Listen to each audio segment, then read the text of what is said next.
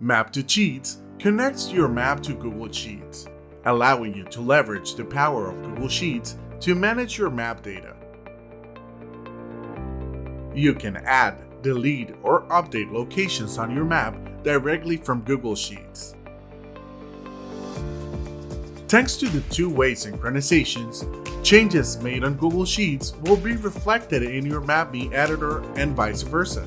You can install the MapMe add-on directly from the Google Workspace Marketplace. Alternatively, open a Google Sheet and go to Extensions menu. Click on Add-ons, Get Add-ons, and search for the Map to Sheets app.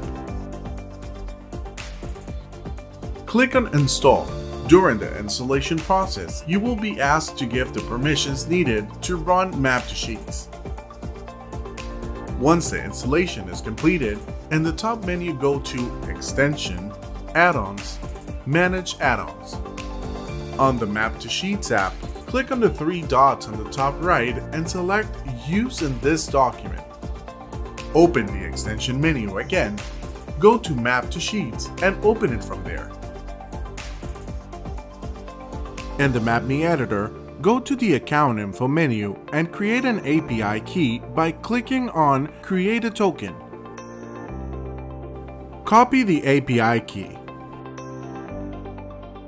Expand the Setup menu and paste the key here. Now click on Create. You can close this menu now. In MapMe, open the map you want to connect to your sheet.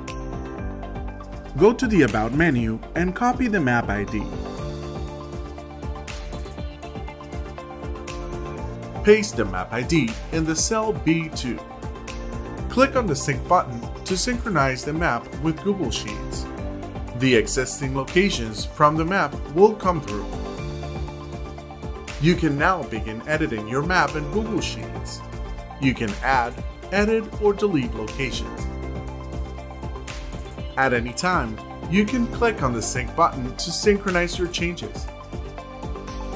You can publish your map from Google Sheets to make your latest changes go live. And that's it.